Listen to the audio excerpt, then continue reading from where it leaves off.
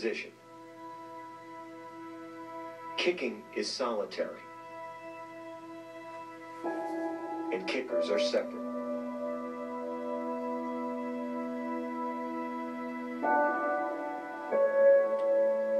But for Anthony Starego, kicking is connection.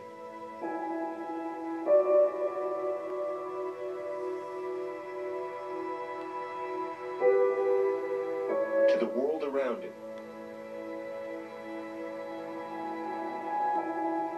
And to the team behind it. Kicking is different. It's the one thing that's the same over and over. Perfect for his quote unquote disability. Anthony is autistic. These things help make it our house. 18 years old, academically he functions at the level of a 10-year-old in his classes at Brick High School in New Jersey. 530, 75. Developmentally delayed, social interaction can be challenging or overwhelming. All right, you ready? Hold on here, Ann.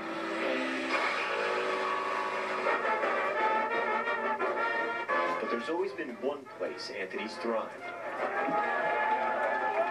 At Rutgers football games. He's got to be their biggest fan. He's always up and yelling and telling everybody else in the section to get up.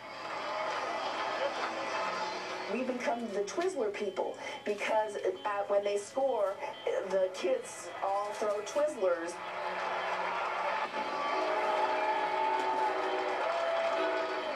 Your favorite Rutgers game of all time, what was it? Louisville, when Ito kicks the winning field goal.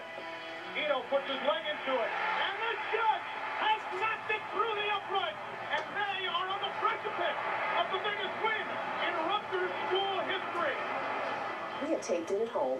He watched that kick and then him pointing the camera over and over and over again. This really struck him. And after that, he said to his dad, I want to be a kicker. And I'm like, okay, buddy. Um, hey, you do know that you don't like contact? Um, this, well, okay. Kicking is about ritual and routine. That kind of repetition helps Anthony manage his life off the field and suits the patterns of his mind on it.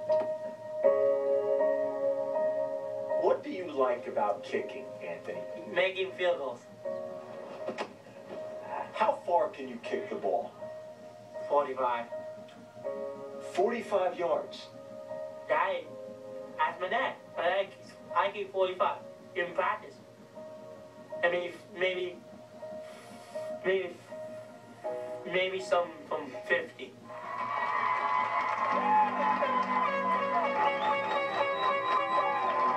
After playing football for the last six years, by mid-season, Anthony was Brick's varsity kicker.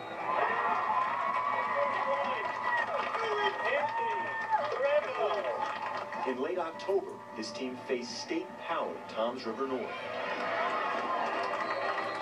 The game came down to the final minute, tied 21 apiece, with Brick inside the 10-yard line.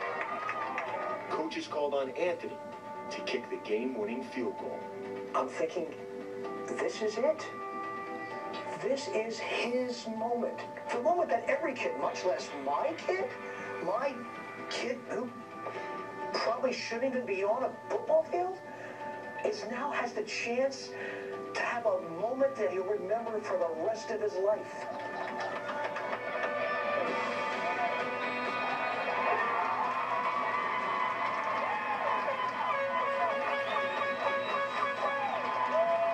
What did you do by kicking that field goal? Hung my teeth and hung my family. How did you help your family by making that kick? Make him happy for me. That kick is a kick of hope.